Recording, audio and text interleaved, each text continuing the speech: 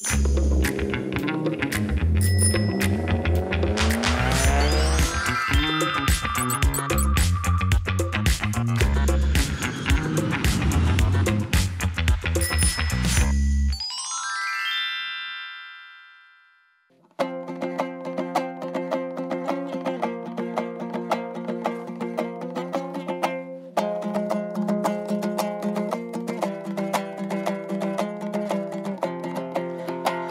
азаттықтың атты арай таңдары алты алаштың осы еді ғой арманы. Өлкем қазақстан бағдарламасы көріңіздер ел арнадай арнаны. Қазағымда көп еді ғой тек тұлғыз жаратқаным жақсылыққа бет бұрғыз. Өткен күннің естелігі сақталған таңбалы тас дейтін жерге кеп тұрмыз. Бабалардың жырларында жатталған өткен күннен мол өсиет сақталған. Қола темір дәуірімен ағайын сыр шертеді кешегі құн сақтардан. Қасиетті топыраққа келіп ем. Жыр айтуға мен несіне ерінем? Экраннан алыстамай ағайын. Жарты сағат саяхатта менімен. Экраннан алыстамай ағайын. Жарты сағат саяхатта менімен. Ассалаумағалейкум ардақты ағайын көзі қарақты көрермен жаңа өлең жолдарымен айтқандай шабытым келіп тұр. Себебі қасиетті шаһар қастерлі өңір ақындар елі батырлар елі жамбыл ауданына қарасты таңбалы тас дейтін мекенге келіп жатырмыз. Сіздермен бірге саяхаттайтын мен айтыскер ақын журналист айтбек тұрсынбай. Балыққа таяз судан терең оңай ақынға қара сөзден өлең оңай дегендей мен осындай керемет жерге келгеннен кейін бірден домбырамен жыр бастап шабытым ашылып жатқан жайы бар бірақ бұл басы ғана. Әрмен қарай енді саяхатқа көшеміз. Менімен бірге тамашалаңыздар. Керемет жерге келдік. Міне таңбалы тас алғашқы кіреберіс қақпасынан ақ. Қандай жер екенін өзі айтып тұр. Демалыстың төресі деген осы шығар. Адам шынайы табиғаты ашылып табиғатпен тілдесіп арқамда 30 келі жүгім бар қолымда домбырам бар. Төріне барғанда да астананың сонда да домбырамды тастамадым дегендей. Мұндай табиғатта домбырасыз жүру мүмкін емес. Шабыт келіп жатыр дархан далада. Негізі қазір телефонға телмірген заман болды. Дәл осы заманда көбіне біз демалысты қазір ас ішіп аяқ босату деп ойлаймыз. Сенбі жексенбі күндері келе қалса туған туысқандармен достармен бас қосып қайда барамыз? Тағы да асханаға барамыз мейрамханаларға барамыз. Бірақ біз денсаулығымызға кері әсер ететін жағымсыз әрекет жасап жатқанымызбен шаруамыз жоқ шынында. Ал табиғатта демалу деген адам өз өзіне есеп беріп өзінің өткені мен бүгінін келешегін ойлап ә, әсіресе өнер адамдары бір даладан табиғаттан шынайы өз табиғатымен тілдесіп үндесіп бір рухани демалып қайтады. Енді бүгін таңбалы тасты толықтай аралап шығуға алла күш қуат берсін. Дегенмен енді аттың жалы атанның қомында өскен ауылдың қара домалақ қара сирақ баласымыз сондықтан шаршамаймын деп ойлаймын. О айтып ауыз жиғанша демалатын жер табылды. Ауылдың баласымын деп көп мақтанып қойдым ау деймін. Неге мына жерде осы таңбалы тастың картасы бейнеленген түсіндіріліп жазылған екен. Бірінші топ жартас суреттері бірінші топта 111 жартас суреттері бар екен. Онда кеттік ары қарай.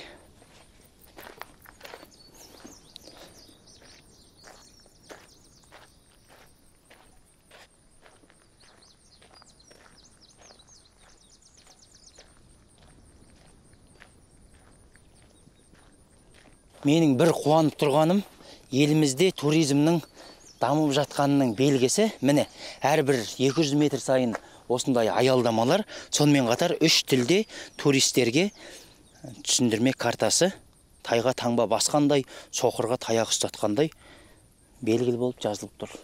Жақсы тамаша. Тасқа қашалып салынған суреттің өзін топтастырып жинастырып салған екен. Мына таңбалы тастағы осы жәдігерлер алты топқа бөлінеді екен. Яғни біз қазір бір бөлігіне келіп тұрмыз. Альбомның бір бетін ашқандай ашық аспан астындағы мұражай. Бірақ бір нәрсе айтайын. Мына 30 келі жүкпен мына домбырамен ары қарай тау тасқа шығу шынында қиын болып кетеді ау. Сондықтан реті келсе осы жерге бір қойып әрмен қарай өзім жеңілдеп араламасам болмайтын сияқты. Жаңа дәуір жаңа заман мен қола дәуірінің арасындағы көпір десек те болады. Төрт жүзден астам бейне бар екен. Бірге көрейік.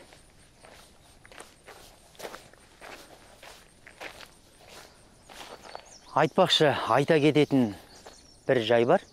Сіздер осы бағдарламаны көргеннен кейін осында келетіндеріңізге сенімдімін. Келіп жатсаңыздар дегенмен бәрібір жабайы табиғат қойнауы сондықтан өздеріңіздің сақтықтарыңыз үшін бұл жақта жылан көп қаз жаз мезгілі. Сонымен қатар шілденің соңында қара құрттың көбейетіні белгілі. Өз сақтықтарыңыз үшін ә, әр қадамымызда ақырын жүріп анық басып жан жағымызға мұқият абай болуымыз керек. Міне мен сөзімді аяқтап болмай міне қара құрттың бір түрі. Бұл әлі баласы бұдан да үлкен болып болып өседі міне нағыз қызық енді басталды. Жаңағы айтқан бейнелерімізді енді тамашалауға болады. Міне мынау аң стилі ежелгі атты адам бейнеленген. Мынау мүйіз ба түсінбедім мына жақта да міне атты адам кішкентай бейнесі бар. Мен енді қазір барынша сіздерге анықтап көрсетуге тырысам қарасаңыздар құланның бейнесі тұр. Үлкен құланның бейнесі мына жерде аңшы адам. Құралайды көзге атқан міне мына жебесі атқан оғын маздатқан деген осы аңшы болса керек. Сақ пен ғұнның дәуірінен сыр шертіп тұр ғой. Бұл жерде тек қана құлан мен аң аулап тұрған адам емес. Мына жерде байқасаңыздар тағы да құланның құлыны кішкентай құлан тұр. Яғни бұл толық бір оқиғаны баяндайды. Сонымен қатар жүк көлігі тек қана тұлпарлар жылқылар ғана емес түйе екенін де мына тастан анық көруге болады. Енді мына таста толықтай тағы да сол заманғы өмір бейнеленген арқар тау ешкілер сонымен қатар кішкентай баланың бейнесі және босанғалы жатқан ауыр аяқ келіншектің бейнесі бар. Енді сен тастағы мүсінге қарап оның бала екенін қайдан білесің оның босанғалы жатқан әйел екенін қайдан білесің десеңіздер оған осы жерде жауап бере кетейін. Бұл зерттеушілеріміздің айтуы бойынша солай жетті бізге. Себебі мұндай сурет мұндай тас бұл жерде ғана емес қазақстанның алтай мен атыраудың арасында қазақстанның кең байтақ даласында осындай бейнелер бірнеше жерде белгіленеді. Осындай кең байтақ далиған дала керемет өлкеміз бар. Біз бақытты елміз шынында. Әр қазақ басымызбен жауаптымыз бабамыздың басымен келген жерге. Жаңа мен айттым ғой төменде жүкті әйел кішкентай бала деп. Сол тас мына жартастың жартысы екен. Яғни дауылдар болады желдер болады. Содан құлап ол бөлініп сайдың табанына кеткен мынау жартас әлі тұр. Яғни бағана біз бала мен әйелдің бейнесін көрсек мына жерде ер адамның бейнесі. Қолына ағаш ұстап алған аң аулауға бара жатқан. Яғни ол кезде күнкөріс ә, былайша айтқан кезде аң аулап күн көрген. Міне бұғының бейнесі бұқаның бейнесі арқар жылқы тау ешкі. Барлығы күнделік болып тастың бетінде бізге сақталып жетіпті. Мінекей мына жақта тағы да бұқаның бейнесі құланның бейнесі бұғының бейнесі. Мені таңғалдырғаны ат ердің қанаты екенінің дәлелі мына жерде екі атты адам тағы да. Атқа мінген адамдардың бейнесі тұр. Мына жерде мен сиыр ғана көріп тұрғам бір бұқа деп. Сөйтсем бұл ішіндегі бұзауы екен. Алдына сыртына қарасаңыздар сыртында буаз сиырдың бейнесі мынау ішіндегі бұзауы. Бұл дәуірдің адамдары өздерін күннің баласымыз деп есептеген. Күн мен отқа табынған. Оның бір дәлелі мінекей адамның аяқ қолы бейнесі бірақ басы күн болып бейнеленген. Құрметті көрермендер бұл жердің негізі юнеско бойынша біздің мемлекет бойынша есімі таңбалы. Біз енді таңбалардың соншама көп болғанынан сосын тасқа қашалып жазылғаннан кейін көбіне таңбалы тас деп жатамыз. Бұл таңбалы тасты шоқан уәлихан қашқарға кетіп бара жатқан кезде іле бойындағы таңбалы тас көрген күнделігіне жазылған. Сол таңбалы таспен шатастырып алмаңыздар. Ол жерде бір ақ тас будданың бейнесі бейнеленген. Ал бұл жер таңбалы деп аталады. Бұл жерде таңба өте көп. Алты бөлімде біз жатырмыз. Әрқайсысында төрт жүзден бес жүзден үш жүзден осындай бейнелер бар. Енді мына жерде қабанның бейнесі. Алдында қасқырдың бейнесі. Және мысық тектес бір жануардың бейнесі тағы да айқын бейнеленіп тұр. Және 1957 жылы анна григорий қызы осы жерді алғаш зерттеп тапқан. Бабаларды теңеймін шын асылға қалдырған жәдігерін мұрасында баһадүр батырларды кеше өткен. Ұрпақтар ұмытпасын дұғасында керемет жерге қарап таңғаласың. Мойныңды оңға солға бұрасың да кең байтақ жерге ие болып қалған. Біз қазақ бақыттымыз расында ей расында ай құрметті ағайындар мен жаңа ғана айттым альбомның бір бетін бір парағын ақтарсақ енді келесі бетіне қарай өтеміз өзім көзбен көрген шабыттанып әсер алған керемет жерді сіздер де көрсеңіздер қуанып қалар едіңіздер деген ой мақсатпен айтып отырмын. Бар қазақ менің бауырым әр қазақ менің жалғызым.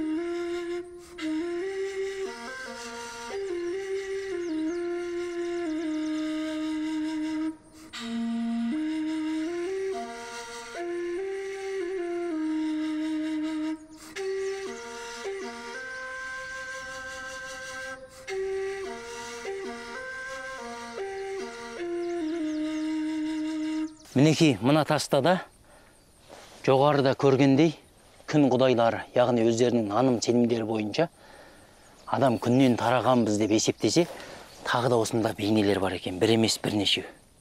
Бірақ бір қызығы бір біріне ұқсамайды мүлдем.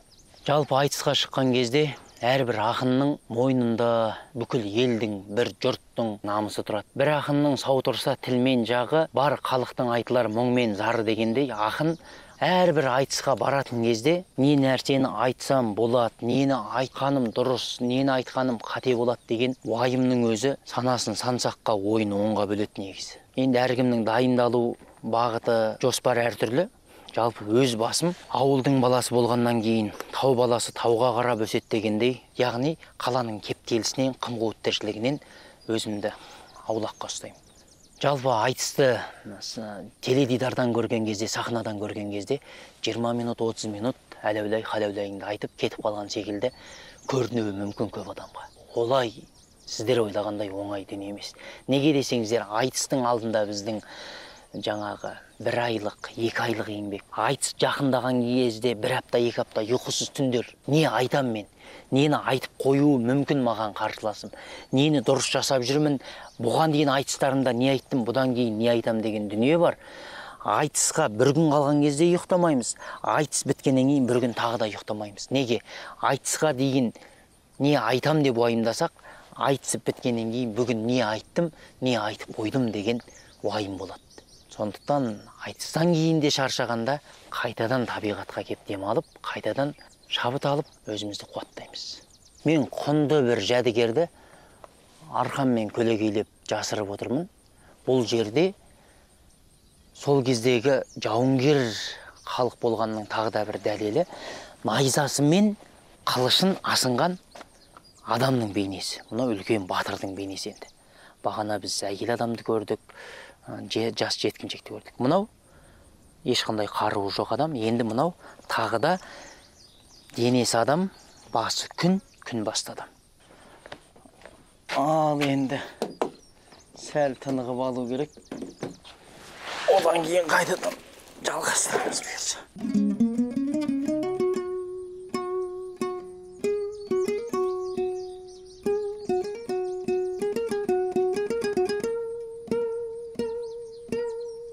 арқаға 30 келі жүк тартқан кезде осы маған не керек?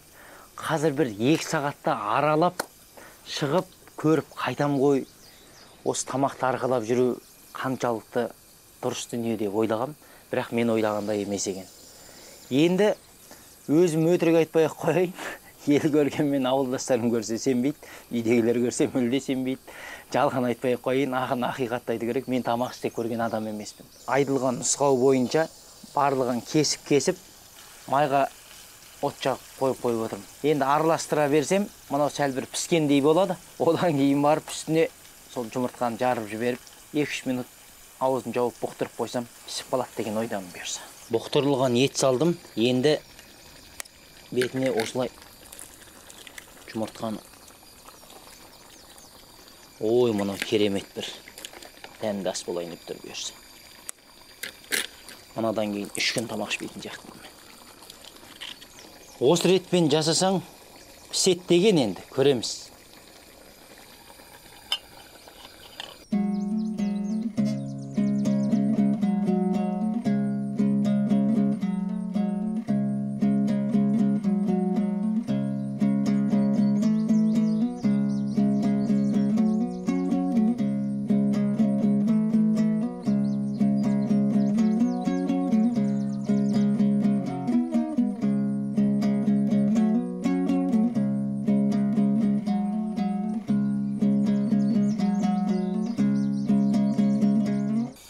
Шай да қайнады бұрқылдап ас дайын бисмилля. Бұйыртқан асымызды бүгін таңбалыда дәмдататын боламыз.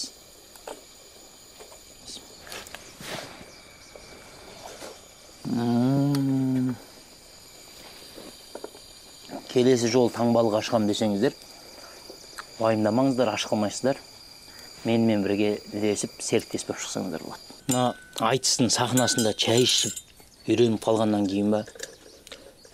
Қысы жазы өзім шай ішпесем шөлім қанбайды негізі.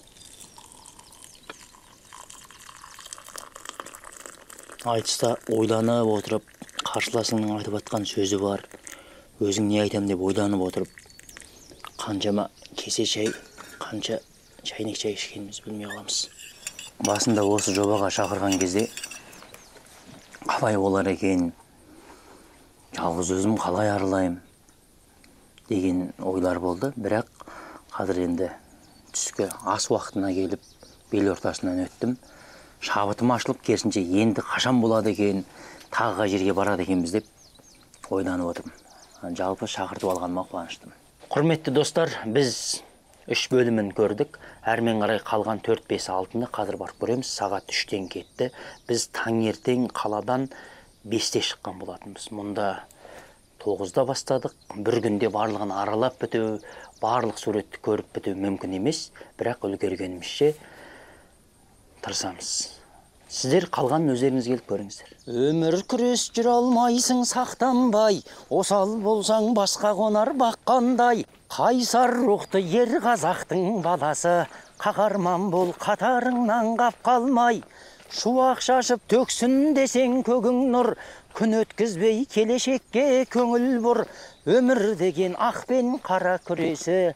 Күрес деген өзің сүрген өмір бұл. Өмір майдан. Жүре алмайсың сақтанбай. Осал болсаң басқа қонар баққандай. Қайсар рухты ер қазақтың баласы.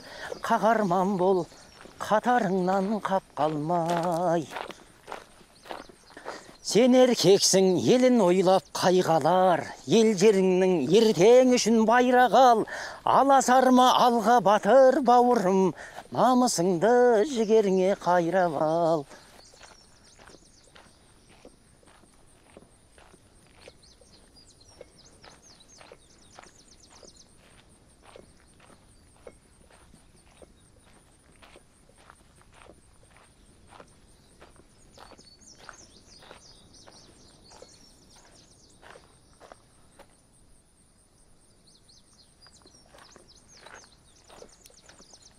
Мінекей мынау домалақ шеңбер таспен қоршалған жер сол заманның құрбандық шалу орны екен.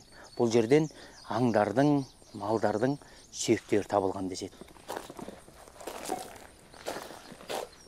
Мінекей жаңа құрбан шалу орны болса құрбан шалып біткен адамдар діни рәсімдерін осы жерде қоршалып тұрған жерде аумақта жасаған екен. Яғни отты айналып жүгіруі бар өздерінің зікірлері бар. Діни рәсімдерін осы тұста жасаған екен. Ең қызығы мына жерде мен ұлы жүз дулат руының тайпасының белгісін көріп тұрмын. Мен өзім руымен мақтанатын жастар емес туымен мақтанатын жастардың қазақтардың қатарынанмын бірақ дулат бабамның дулаттардың таңбасын көргеніме өзім таңғалып тұрмын. Жоғарыда жақпар тастарда бір белгілер тұр кескіндер. Мен қазір сіздерге жақындатып көрсетемін жол жабық екен ары қарай бара алмай тұрмын. Мен енді маманы емеспін. Бірақ руна сына жазбаларына қарағанда түрікше жазуға ұқсай ма төте жазуға келе ма деп ойланып тұрмын. Енді әрмен қарай біз жеті күн басты адам бейнеленген бөлікке барамыз. Және адамдардың шеңбер болып бір бірінің қолынан ұстаған қателеспесем сол ғибадаттың бір түрі шығар бейнеленген бір суреттер тұр. Қазір барып көреміз.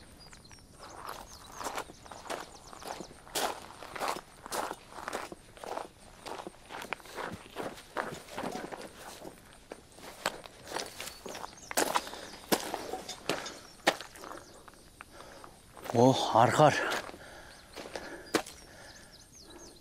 атқа мінген адамдар тауешкі түйе жылқы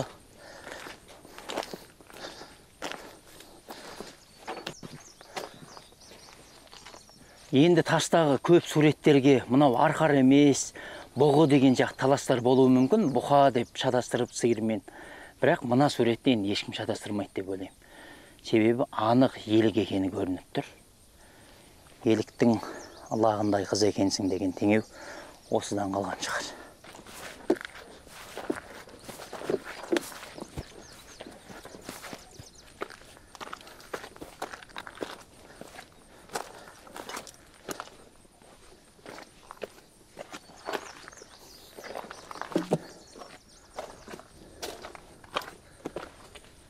Нағыз қазақ домбырам екеуміз әлі біраз жерді шарлаймыз бұйырса.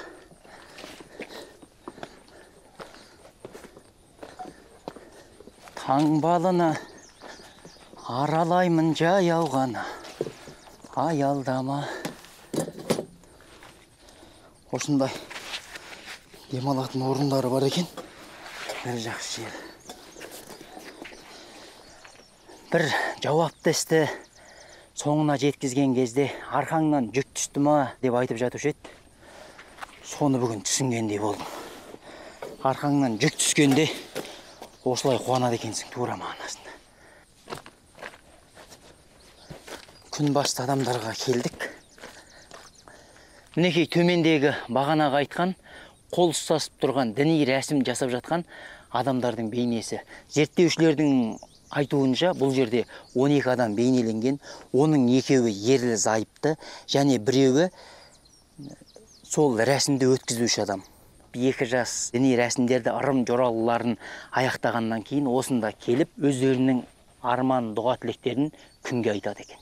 Осы таңбаның жоғарғы жағында міне күн бейнесіндегі адам екеу үшеу төртеу жеті адам бейнеленіп тұр. Алдама арман алдама. Қараға бірдей ханға да. Бұл өмір кино ал бақыт арасындағы жарнама. Шуақты кейде жаңбырлы тұманды кейде таң нұрлы. Кінәлай бермей тағдырды бағалау керек әр күнді. Қалады бәрі қалады. Жаныңды емде жаралы. Күрсінбе көтер басыңды. Кеудеңде жаның. Бар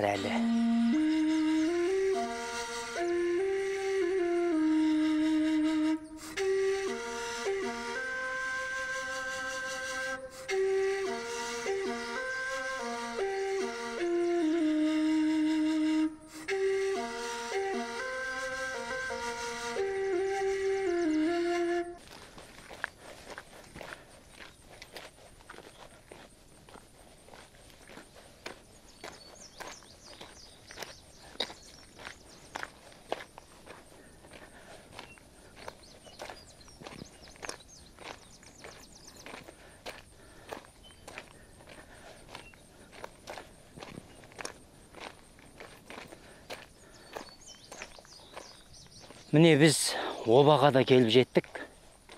Бұл жақтан біраз ерте замандағы адамдардың жерленген мәйіттері сүйектері табылған.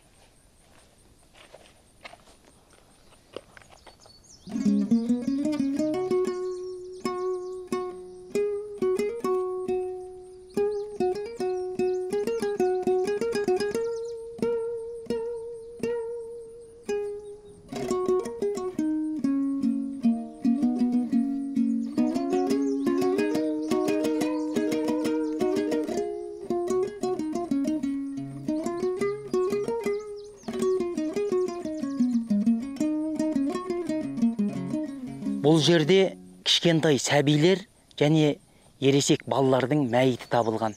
Яғни олардың жерлену рәсімі эмбрион қалпында.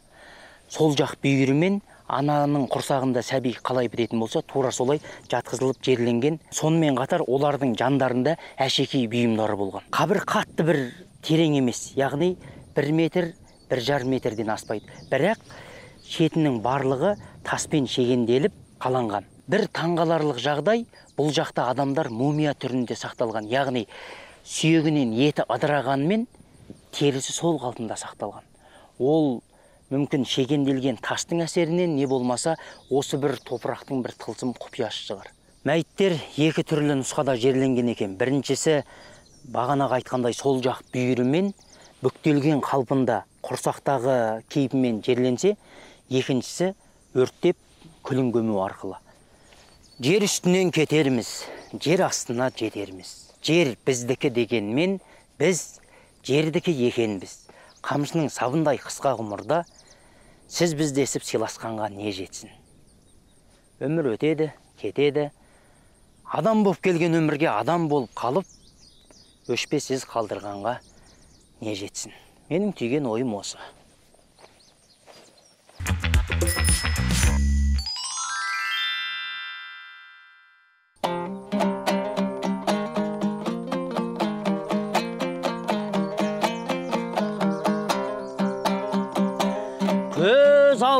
елестеп мың түрлі елес қалайша жүрегіме жыр түнемес табиғаттың тамаша тылсым сырын жарты сағатқа сыйғызу ей мүмкін емес ай мүмкін емес ай ақын ұлың келді де таңбалыға таңбамен суреттерге таңғалуда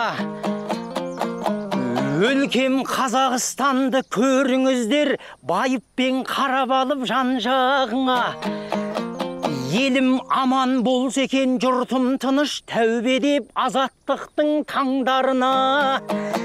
Ей, әлемде бейбітшілік заман болсын Барлық адам жетсе екен ай ей арманын ауа ей арманын ауа ей